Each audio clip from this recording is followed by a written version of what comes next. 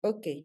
Entonces, el tema de hoy se llama Importando datos AR desde Excel y archivos planos y es un recorrido práctico, porque algunos de ustedes nos habían comentado que eh, les resultaba como que, que les resultaba más útil leer sus datos desde Excel porque sus datos de por sí estaban en Excel. Pues les decía que hoy vamos a platicar de lo que es un archivo Excel y un poco el objetivo de la sesión de hoy es eh, pensar en esto de que para realizar análisis de datos en R, el primer paso generalmente es traer tu información a partir de archivos externos. Este, les decía que normalmente nuestros datos van a estar en archivos planos o en archivos de Excel. Entonces, lo que queremos hoy es revisar rápidamente cómo podemos de esos archivos planos llevar la información a nuestro Excel. El índice de temas que vamos a ver hoy es, vamos a empezar viendo qué es esto de un archivo plano versus un archivo de Excel. Luego vamos a hacer la lectura de archivos planos, vamos a ver que hay muchas instrucciones para hacer eso y después vamos a hacer la lectura del archivo desde Excel y finalmente vamos a terminar escribiendo alguna parte de lo que hayamos leído, lo vamos a escribir primero en un archivo plano y luego en un archivo de Excel. Y eso es lo único que vamos a hacer la sesión de hoy. Les voy a, vamos a empezar un juego, les voy a pedir que pongan sus celulares. Entonces, la primera pregunta dice, ¿qué es un archivo plano? Esa es la pregunta, ¿qué es un archivo plano? Y en su celular ustedes van a ver un triángulo rojo que dice un archivo de texto sin formato. La respuesta del rombo dice un archivo que solo tiene una línea. El círculo, un archivo con imágenes en blanco y negro y el cuadrado, un archivo generado con Word. Anoten, tomen la, la opción que ustedes crean que es la correcta. Les quedan siete segundos para hacerlo. Muy bien, la respuesta correcta es un archivo de texto sin formato. Eso es un archivo plano. Y la mayoría tiene bien el concepto. Hay dos personas por ahí que dijeron es un archivo que tiene una sola línea. Pues no, los archivos planos pueden tener miles o cientos de miles de líneas. ¿Listos? Vamos a la siguiente pregunta. ¿Cuál es la diferencia entre un archivo Excel o XLS o XLX y un archivo plano? Entonces, una respuesta, la, eh, la roja dice no hay diferencia. La otra respuesta, que es la del rombo, el archivo Excel es un binario y el archivo plano es de texto. La otra respuesta, que es la amarilla con un círculo, el archivo de Excel se puede abrir con cualquier lector de texto y se vale decir no sé, que es la respuesta verde, ¿no? Se acabó el tiempo y cinco personas contestaron que el archivo de Excel es binario y el archivo plano es de texto y esa era la respuesta correcta. Y de manera muy válida hay dos personas que no lo sabían pero si esta respuesta de que un Excel es un binario y uno plano es de texto no les queda clara, lo podemos seguir platicando. Y por supuesto que hay diferencia, o sea, vamos a ir viendo más adelante este, eh, las, las distintas diferencias entre un archivo de texto y un archivo plano. ¿Va? Siguiente pregunta. Dice, ¿Se puede generar un archivo plano desde Excel? Y ahí la primera respuesta es no. El triángulo, el rombo dice no lo sé, el círculo solo en ciertas versiones y el verde dice sí, salvándolo como CSV o TAP o TXT. Y se acabó el tiempo. Tenemos nueve respuestas y dice sí, salvándolo como CSV o TAB o TXT. Genial, o sea, me da mucho gusto. Creo todo el mundo tiene clarísimo que desde un Excel siempre tengo la posibilidad de generar un archivo plano. La siguiente pregunta es, ¿con qué instrucción se lee un archivo plano con formato de tabla en R? La primera respuesta es no sé, la triángulo. El rombo dice con una instrucción que se llama read file el amarillo círculo dice read table y el verde cuadrado dice read IMG. ¿Con qué instrucción se lee? Se acabó el tiempo y seis personas contestaron read table. Efectivamente, para leer un archivo tabular, es decir, que, que tiene como, como columnas y renglones, la instrucción que se utiliza en R, hay varias instrucciones, pero una de ellas es read table. Eh, read file y read img no estoy segura que existan y si existen no sé exactamente para qué son, pero no son para leer archivos tabulares, ¿ok? Entonces, la respuesta correcta es la amarilla. Ahí, ahí hubo un poquitín de confusión. El read file eh, se presta más para otro tipo de archivos. Si, si existiera, sí me parece que hay una función por ahí, pero no te lee archivos de texto en formato de tabla, ¿ok? Vámonos con la...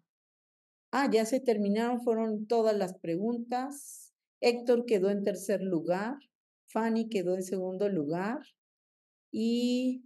Tarán, tarán. Alejandro quedó en primer lugar. Eh, ¿Cuál es la diferencia entre un archivo y un archivo de Excel? Bueno, los archivos planos, ya dijimos, y, creo que la mayoría le queda muy claro, son archivos que solamente tienen texto, pero además tienen texto sin formato. Quiere decir que no tengo la posibilidad de poner que las negritas, que el tipo de letra fulanito de tal, o poner de color menganito, o este, inclinadas o gorditas, no tienen formato.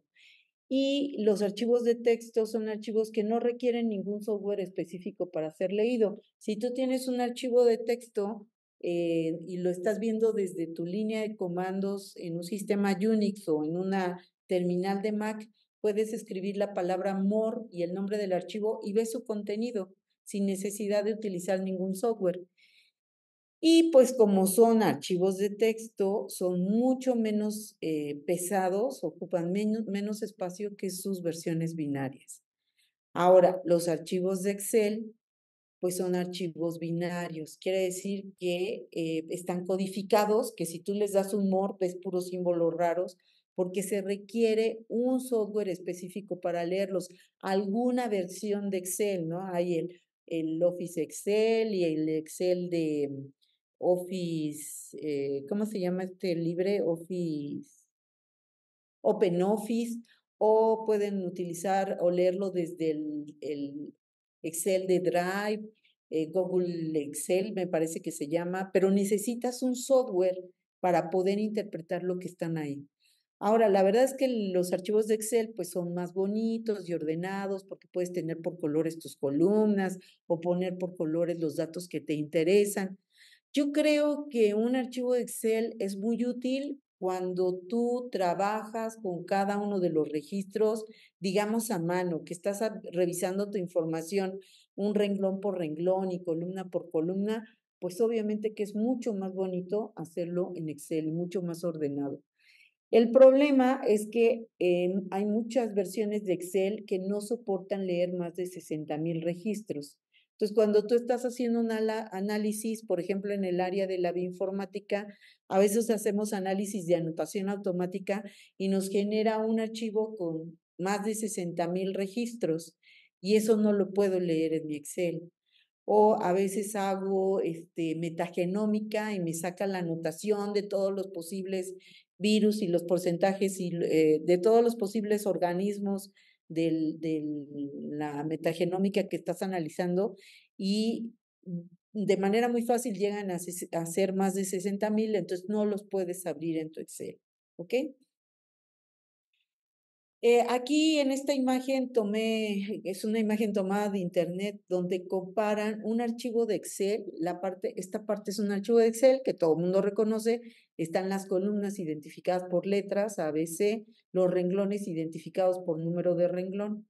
Cuando yo transfiero esto a un archivo de texto, eh, al momento de convertirlo, normalmente cualquier aplicación de ellas me, eh, me dice cuál quieres que sea el delimitador, es decir, cómo voy a separar los elementos del primer, de la primera columna de los de la segunda. No puede ser un espacio porque fíjense, aquí la primera tiene un espacio, entonces si le agrego un espacio más, ya se va a confundir.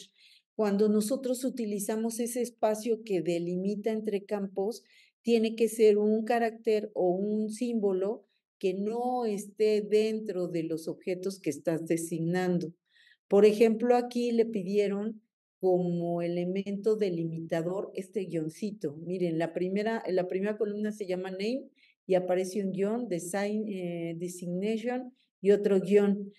Y yo diría, no, desastre, estas fechas también tienen guion, pero al momento que las pone en modo texto, esos guiones medios los convierte en backslash, en, en, en líneas este, inclinadas. Entonces ya no hay manera de confusión. Quedan muy bien los guiones como separadores entre campos porque la información ya no tiene guiones, ¿ok? Y pues sí, si tú ves estos archivos que ya no es clara la separación, pues tratar de analizarlos a mano o viéndolos, pues es horrible porque nunca te queda claro dónde termina eh, un campo y dónde empieza el siguiente. Pero vuelvo a insistir, normalmente este tipo de archivos planos los generó, ya sea que los haya generado un software y nosotros queremos continuar con este análisis en, en alguna otra herramienta computacional, este, y no están hechas para que un ser humano se ponga a leerlos y analizarlos, ¿ok? Porque si no, pues sí, coincido con ustedes, es mucho más bonito el Excel. ¿Cómo puedo generar un archivo plano desde Excel? Creo que todo el mundo tuvo bien esa respuesta, excepto una o dos personas. Entonces, para ellas les comento, en tu Excel siempre hay una opción archivo y siempre puedes seleccionar guardar como y en guardar como siempre salen 20 mil opciones, ¿no? Las opciones que vamos a querer, eh, puedes tomar, por ejemplo, hay varios tipos de formatos de archivos planos. Este CSV codificado en UTF-8 es un archivo delimitado por comas. Ese CSV significa Command Separate Values. O también, por ejemplo, este TXT también es un archivo plano. La diferencia entre este y este es la codificación. UTF-8 es como la más, la más reconocida a nivel mundial. Cualquier computadora, el UTF-8 es el conjunto de caracteres eh, que pertenecen prácticamente al idioma inglés, o sea, no hay acentos, no hay ñes, no hay símbolos raros, símbolos japoneses, símbolos, ¿no? Entonces es como el, el grupo de caracteres más unificado a través de varias computadoras. Por eso mi recomendación es cuando conviertan algo a texto, utilicen UTF-8 para, para que sea lo más estándar posible. Aunque también pueden utilizar el UTF-16 o este, el texto delimitado por tabuladores. El problema de esta opción es que a veces si yo estoy trabajando en Windows, eh, estos archivos de texto me los va a dejar con una codificación especial en los cambios de línea que no tiene, eh, que es diferente al, al de Unix o al de Mac. Entonces, si tú lo salvas como UTF-8, los cambios de línea se codifican eh, de manera semejante en cualquiera de los tres sistemas operativos, como que es más estándar. ¿Va? No sé si alguien tiene duda. Este, yo la primera vez que vi esto de salvar cómo vi todas estas opciones, dije, ¿qué? ¿Y para qué tantas opciones? Bueno, poco a poco la vida te va enseñando, esta sirve para acá, esta sirve para allá. En este momento que queremos convivir con R, yo les digo, la mejor opción es la que diga eh, CSV eh, con UTF-8. Claro, siempre y cuando tu archivo no tenga comas metidas en la codificación de tu información, porque si no tienes que elegir algo delimitado por tabuladores. Si no hay dudas, la otra cosa, también la mayoría de ustedes les quedó, tienen claro esta parte de que para leer un archivo de texto en R se utiliza la función readTable. Y si yo escribo readTable en mi, en mi, en mi RStudio, siempre me sale la ayuda y dice que la instrucción readTable empieza con el nombre del archivo que quieres leer, asume que ese archivo no tiene encabezados, por eso dice que el header es falso, y asume que no hay un delimitador por default. Entonces, y otra serie de cosas. Cuando tú tienes un archivo en particular que sí tiene encabezados y que está separado por comas, como el que acabamos de guardar en el Excel, bueno, que platicamos de guardar en el Excel, pues aquí yo le tendría que poner el nombre de ese archivo, en header le tengo que poner true y en separador le tengo que poner una copia. ¿Ok? Este, pero ahora, la lectura de archivos, bueno, y si alguien quiere ver más de esta lectura de archivos, la hemos tocado en otros de, en algunos otros de nuestros, de nuestras sesiones, pueden buscar en nuestra página de Arladies Cuernavaca en YouTube y allí están todas las sesiones que hemos visto y en alguna de ellas se habló ampliamente acerca de la lectura de archivos planos con este read. Pero en esta ocasión lo que nos interesa es hablar de la lectura de archivos en Excel. Y para hacer esa lectura de archivos vamos a utilizar esta biblioteca que se llama Read Excel. Read Excel ah, puede leer tanto archivos de tipo XLS como archivos de XLSX o incluso, eh, bueno, estos XLSX están basados en un formato llamado XML. XML. Y para llevar a cabo esa lectura se utilizan bibliotecas de C que eh, abstraen muchas de las complejidades que se tienen que realizar para leer un archivo binario como es el Excel. ¿Se acuerdan que hace un rato yo les decía, para leer un Excel necesitas un software específico que lea Excel? Bueno, pues aquí esta biblioteca RIT XL, XL, pues lleva por dentro una serie de elementos que permite reconocer ese formato de tipo XL. Ah, bueno, aquí debería decir instalación. Yo cada vez estoy más ciega, entonces se me van las letras. No, creo que siempre he tenido, se me van de repente algunas letras, ¿no? Este, pero para utilizar esta librería, eh, si ustedes se inscribieron en el Meetup, vieron por ahí que les decía, les recomendaba que tuvieran instalado el Tidyverse. Y como este Tidyverse lo hemos estado utilizando en otros Meetups, muy posiblemente muchos de ustedes ya, ya hicieron alguna vez en su instalación el install package Tidyverse. Si alguno de ustedes no lo ha hecho, este es el momento para empezar a hacerlo mientras seguimos platicando que se vaya instalando su Tidyverse. Eh, este, bueno, esta, esto de que el Tidyverse incluye al READ XL, queremos instalar el Tidyverse porque lo incluye, pero en las últimas versiones. Si ustedes hicieron esta instalación del Tidyverse hace mucho rato, a lo mejor todavía no incluía el READ XL, pero una manera fácil de verlo es, hacen su library Tidyverse y luego hacen su library Read Excel. Y si no les lee, si les dice que no conoce el paquete Read Excel, pues entonces hay que hacer este install package. Y una tercera manera de hacerlo es utilizando GitHub con el install package pack, pack cuatro puntos pack, tidyverse, read Excel, ¿ok? Pero este, si ustedes ya alguna vez hicieron este install package, yo les sugiero que, que vayamos a ver primero si ya tienen el paquete read Excel, ¿ok? Entonces, pues vámonos a RStudio. No sé si allí el tamaño de letra está adecuado, pero en la carpeta que abrieron, en este Mito 2024, hay un archivo que se llama Mito febrero 2024 R Project. Denle un doble clic a ese archivo y les va a abrir el RStudio ya eh, con el proyecto abierto. Si les abre el proyecto de manera correcta, en el ángulo superior derecho debe decir mi top febrero 2024. Si alguien tiene dudas, no duden en preguntar y volvemos a repetir. Esta partecita es crucial porque si ustedes logran hacer esto van a tener todo el material y vamos a poder ir haciendo todo, o sea, si se atoran en algún punto van a tener las instrucciones, el archivo de las instrucciones ya aquí.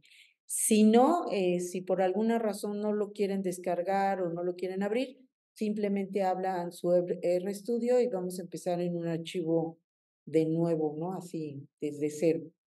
Eh, cuando abren su, su Meetup, eh, su, su R Project, del lado derecho aparece Meetup febrero.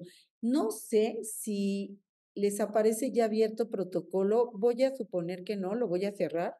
Entonces, si se van aquí a Files, deben ver este que se llama protocolo de lectura.r.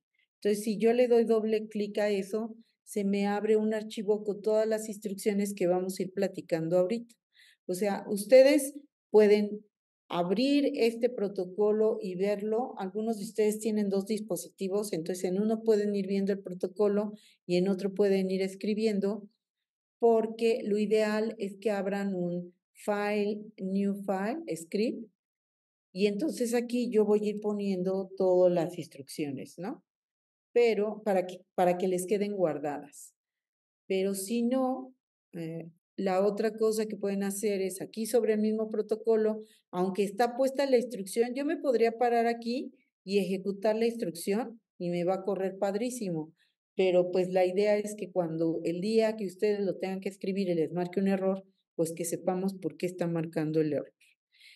Entonces, yo les decía que eh, lo primero que tenemos que hacer es cargar nuestro library tidyverse. Entonces, si yo le doy run a esta instrucción, me aparece todas estas cosas. Me dice que acaba de cargar la biblioteca de, de Plir, Forcat, ggplot2, Lubricate, Pur, ReadR, String, Table y Tidyr. Y eh, me hace aclaraciones de que hay una función filter que tiene conflicto eh, del paquete de PLIR con el paquete STAT, entonces que por el momento ahorita que está cargado va a estar utilizando la primera y no la segunda. Entonces, esto, si ustedes tienen cargada la librería, o más bien ya instalada la librería, simplemente la cargan a la sesión utilizando el library tidyverse. Si hicieron esto y les apareció esto, es que vamos bien. Si no, entonces tendrían que instalarlo, tendrían que poner el install, punto, package, eh, tidyverse. Me parece que alguien en el chat incluso les pegó la manera de, este, de instalar. Esa es la, esta, a esto yo le daría enter y empezaría a instalarme todo. Yo ya lo tengo instalado, yo ya no lo voy a hacer. Sí. Ok.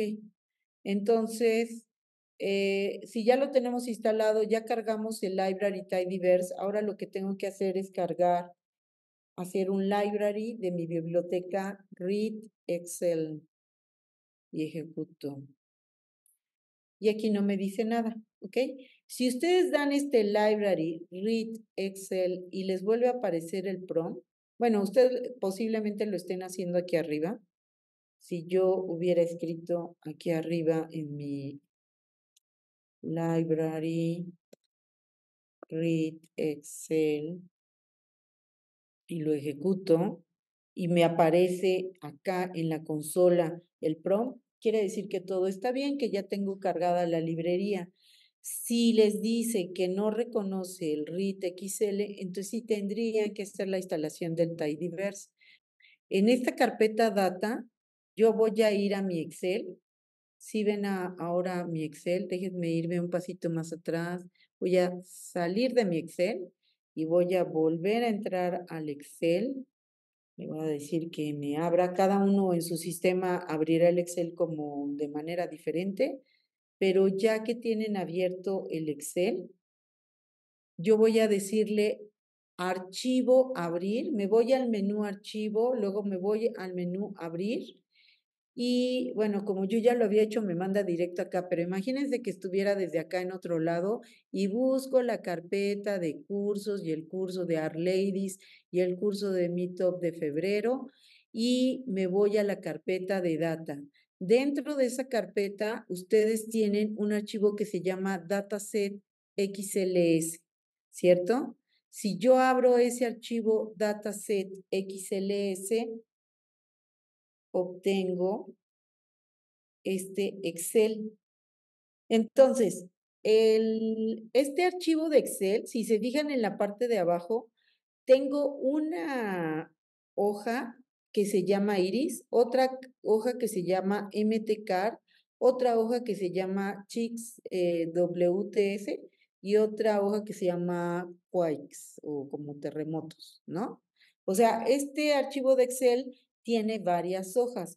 La primera hoja, que es la de iris, tiene datos acerca de la longitud de un sépalo, el ancho del sépalo, el ancho de un pétalo, perdón, el largo de un eh, pétalo, el ancho de un pétalo y una especie. Esta primera hoja son datos que se llaman iris, que son así bien famosos porque siempre que te dan un curso de eh, reconocimiento de patrones o de clasificación automática, utilizan este conjunto de datos que alguien eh, se puso a medir la longitud y, el ancho de los sépalos y de las hojas de distintas especies de estas florecitas iris. ¿Saben cuáles son las iris? Eh, estas que están en los camellones, que son bien resistentes a la contaminación y casi no necesitan que las rieguen. Esa es una de las especies de iris.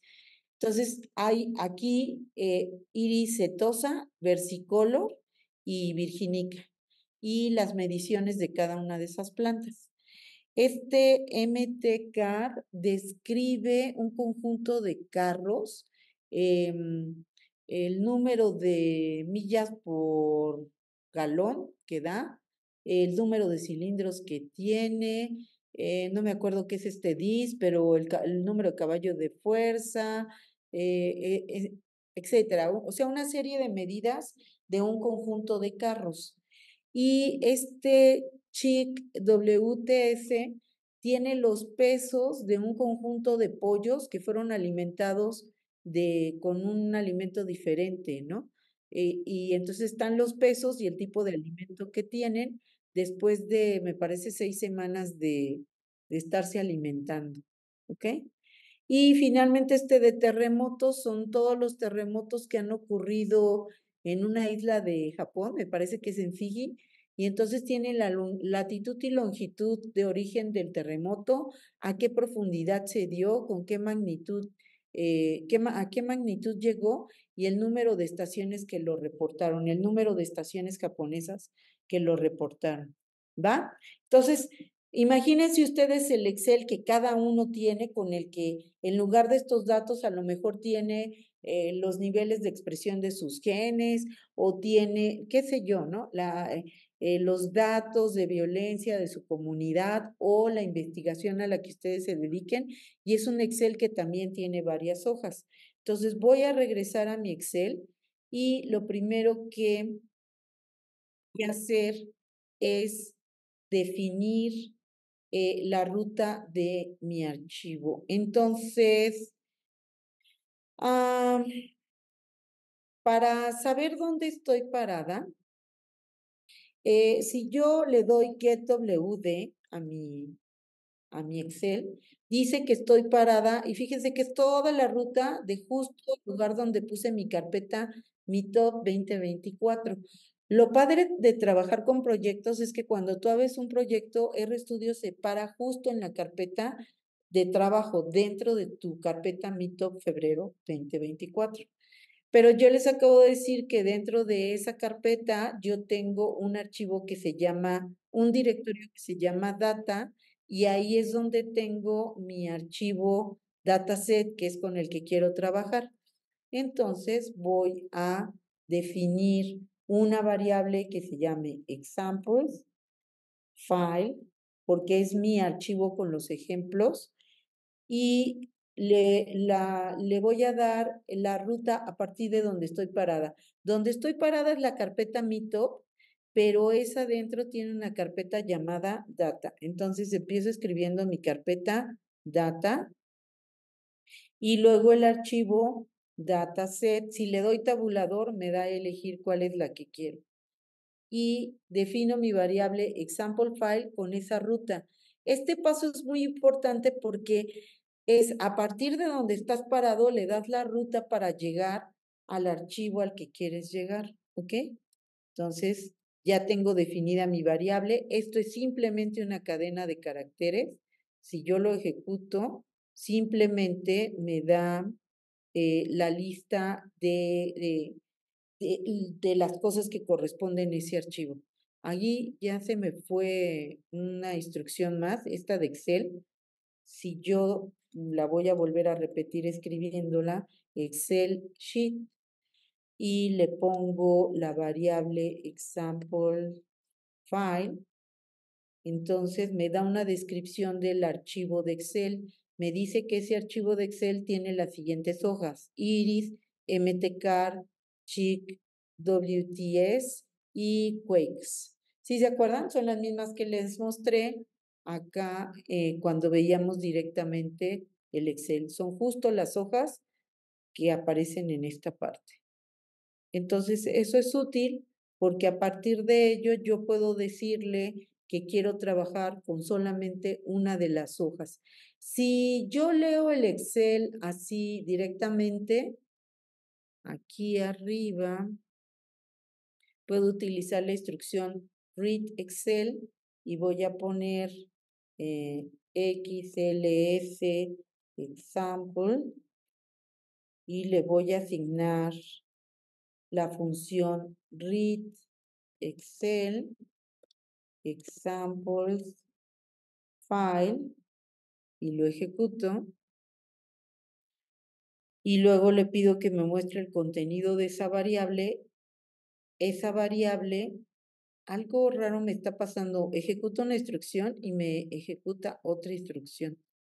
Bueno, le voy a poner aquí directo xls examples XLS, me marcó un error, me dijo Object XLS Examples, no lo encuentro. Pues no, no lo encuentra porque mi variable se llama XLS Example en, en singular, no en plural. Entonces le quito la S y le doy Enter. Y fíjense qué fue lo que me mostró. ¿Qué fue lo que me mostró? ¿Qué me está mostrando? ¿Qué es esto de sepal length, sepal white, petal length, petal white, species ¿Qué me está mostrando? Me está mostrando la primera hoja del archivo Excel, ¿ok? Entonces, si yo utilizo directamente la instrucción read Excel después de haber cargado la librería library read Excel, ya con esto puedo leer un Excel. Está padrísimo, ¿no? Pero lo feo, o bueno, a lo mejor alguno de ustedes dirá, no, no, espérame, espérame, pero nada más te leyó la primera hoja. Sí, por default solamente lee la primera hoja, pero puedo decirle que me lea cualquiera de las hojas en particular. Por ejemplo, voy a leer la hoja que se refiere a los pollos. Entonces le voy a decir pollos, read, Excel, example, examples file. Lo voy a tomar para no escribirlo mal y le puedo indicar qué hoja es la que quiero leer. Quiero leer la hoja que corresponde a los eh, chick whites, ¿no? Y voy a ejecutar esta instrucción. Si yo le pido que me muestre, ah, no, no voy a seleccionar y pegar porque me está pegando cosas raras, le voy a decir, dime qué tiene la variable pollos pues fíjense, ahora me leyó la variable pollos. Y otra cosa que quiero remarcar es que cuando utilizamos este read Excel, la lectura me la deja en un data frame muy especial que es el table.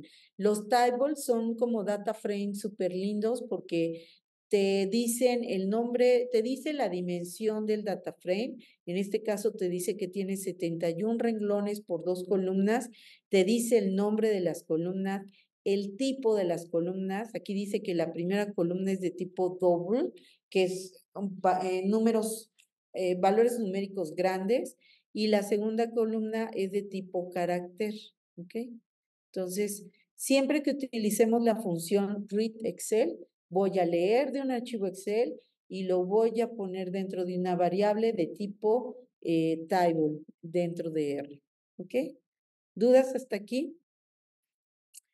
Y pues ya, si ustedes tienen este, por ejemplo, este ejemplo de los pollos, pues ya tú lees el archivo de Excel y empiezas a hacer lo que tú querías. A lo mejor yo quería hacer una serie de aplicar eh, datos estadísticos, entonces voy a solicitar un require stat y voy a hacer después una gráfica, entonces voy a hacer un require eh, graphics y voy a ejecutar. eh, reescribí mal required, es, vuelvo a repetir y le quito, puse una E de más, required graphics. Ok. Ya cargué mis estadísticos y mis gráficos y voy a hacer un box plot, por ejemplo, ¿no? O sea, tú después de que lees tu Excel, empiezas a hacer lo que ya tenías pensado. Este Excel yo sé que tiene dos columnas, el peso y, el, y la alimentación. Entonces, justo le voy a decir que quiero que me haga una gráfica contrastando ese peso contra, necesito poner este tilde, contra el tipo de alimentación y que utilice como datos los pollos, que estos, bueno, esta variable pollos fue, es la que está acá arriba con la que leí la, mi Excel.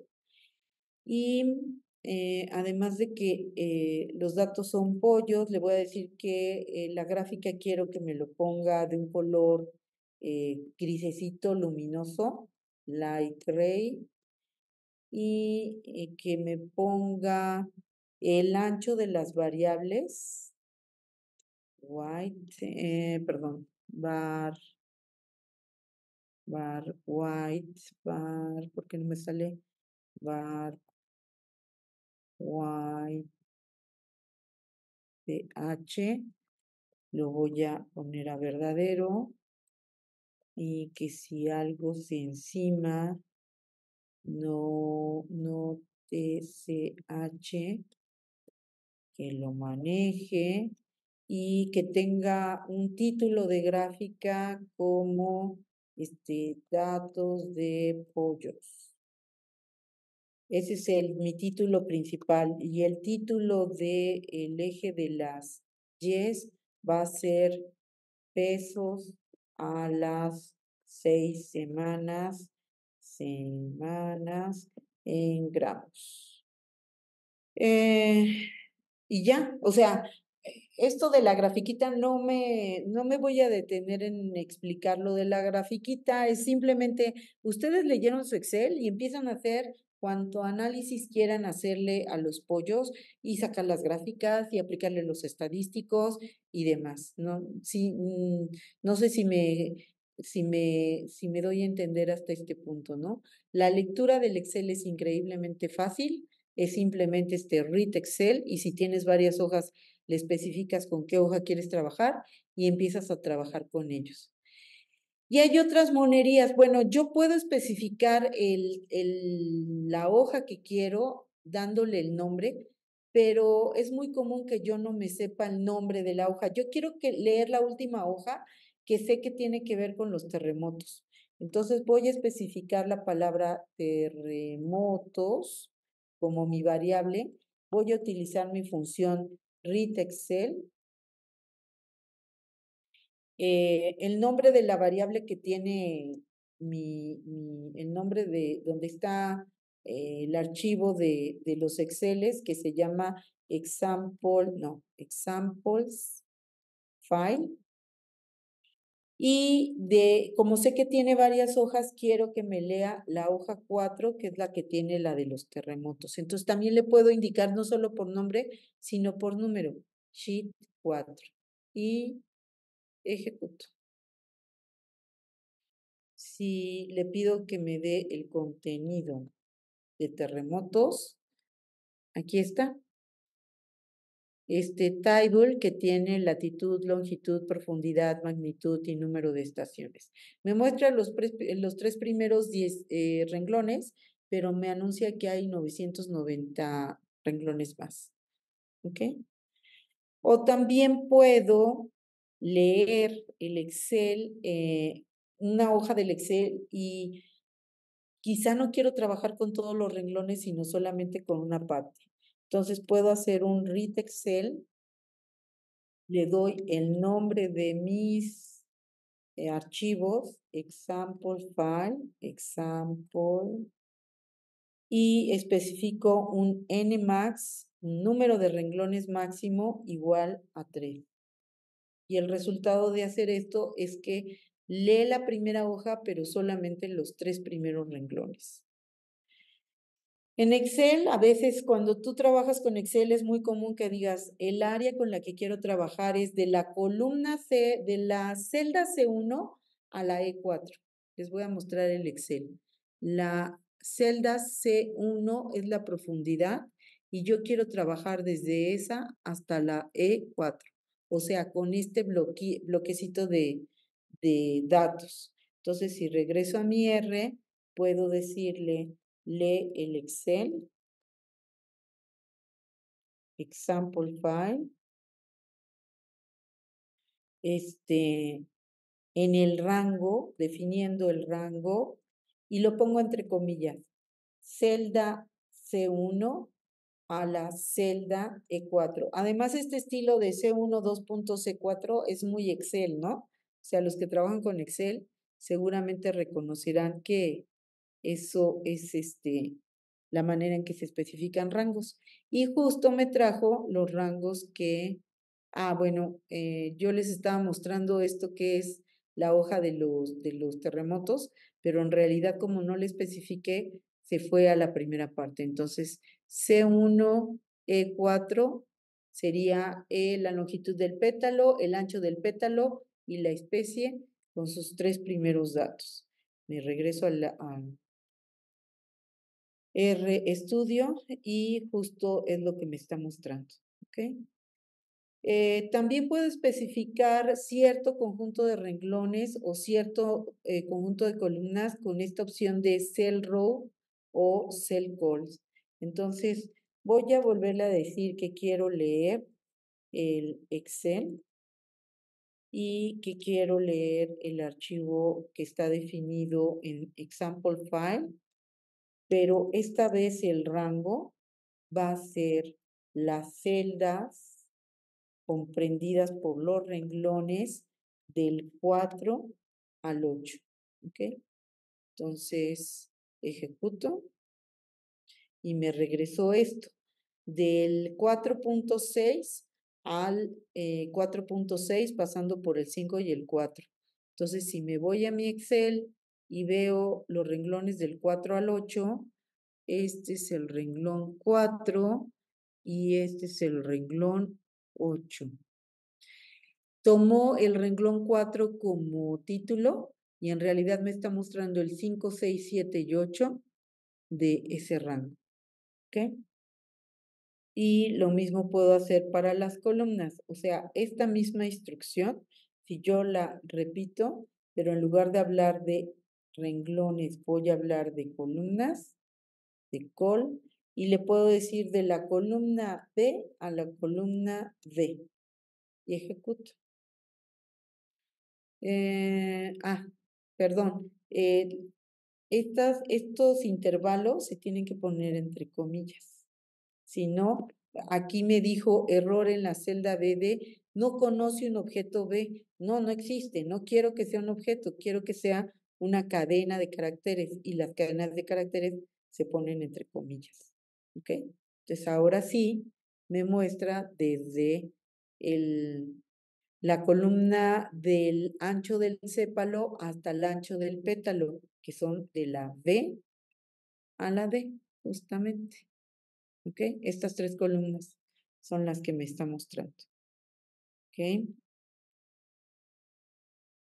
Y en Excel algo que también de repente hacemos es tomar un rango, pero de una hoja en específico. Por ejemplo, ahorita hemos estado trabajando con el iris porque el iris es la, la hoja que por default nos lee, pero imagínense que yo quisiera trabajar con la hoja de, que tiene los datos del carro de la celda B1 a la celda B5. Y para los que trabajan con Excel, esta fórmula, pues justo es lo que está diciendo. El nombre de la hoja, signo de admiración, celda de inicio, dos puntos, celda de final. Entonces vamos a probarlo. Voy a decirle, voy a encerrarlo entre paréntesis para ver el resultado tanto en pantalla como dejarlo guardado en una variable. Si se fijan, en los otros solamente estuve leyendo, pero no guardaba en una variable. Subtabla. Read Excel. Examples, file, range, y el rango que quiero que especificar, le pongo el nombre de la hoja, mtcars, signo de admiración, celda B1, celda D5. ¿Ok? Y ejecuto. Ah, me dice que el objeto examples no, no se encuentra. Pues no, porque así no se llama mi variable. Mi variable se llama examples-file. Fíjense cómo la diferencia de un guion bajo y un guion medio ya habla de dos variables completamente distintas. Entonces lo ejecuto y me marca 6, 6, 4, 6 y esas tres columnas. Vamos a la tabla de los carros para ver esas celdas B1 a D5. Entonces en los carros B1 a C5. Ah, no, D5. D5. Y me está mostrando justo esos cuatro renglones correspondientes a esas tres columnas. Y bueno, imagínense que ya hicimos todos los análisis que teníamos que hacer y ya graficamos y ya trabajamos con nuestros datos. Y a partir de aquí tengo dos opciones. Bueno, eh, a lo mejor de mi tabla grandota me quedé con una subtabla por alguna razón que fue la que analicé y solamente quiero guardar esa subtabla en un nuevo archivo Excel. Entonces, para poder escribir, o sea, estando en R, ahora lo que quiero es que este objeto subtabla se salve en mi sistema de archivos con el nombre de subtabla. Entonces, lo primero que voy a hacer es ver si tengo instalado eh, este install package write Excel. Entonces empiezo diciendo install.package si alguien ya lo tiene instalado, pues ya no tiene que hacer esta parte. Por ejemplo, yo no le voy a dar enter. Bueno, sí le voy a dar enter. Este. Cancel. Me dijo que hay un error porque considera que yo quiero actualizar los paquetes. Entonces, en realidad yo ya lo tengo instalado, ya no le voy a volver a dar install. Ustedes sí tendrían que darle install. Y eh, creo que esa instalación es relativamente rápida. Cuando termina de instalarle, ustedes estarían en condiciones de cargar la librería. Write Excel. Y ejecuto. Y ya, si no me marco nada, quiere decir que todo va bien. Para escribir a un archivo, la instrucción se llama write Excel, dos puntos, dos puntos, write XLSX. Es ese el nombre de la función porque tienes que escribir el nombre del paquete y la función que pertenece a ese paquete. Y dentro de estos paréntesis pones los parámetros que requieres para guardar el archivo. Obligadamente necesitas poner al menos dos, no, dos elementos. Uno de los elementos es el nombre del objeto de R que quieres guardar y el segundo eh, atributo, el segundo este, argumento es la ruta y el nombre del archivo que quieres crear. Entonces, esta subtabla yo la quiero guardar en mi directorio tabla en el archivo subtabla XLS. ¿Ok? Acuérdense que yo aquí estoy parada dentro de mi carpeta mito febrero 2024 y dentro de esa carpeta está esta carpeta data. Por eso la tengo que especificar. Si no la especifico, pues me lo va a guardar, pero fuera de la carpeta. ¿Ok? Entonces, voy a escribir todo esto. Write Excel, dos puntos, dos puntos. Write Excel es ex subtabla,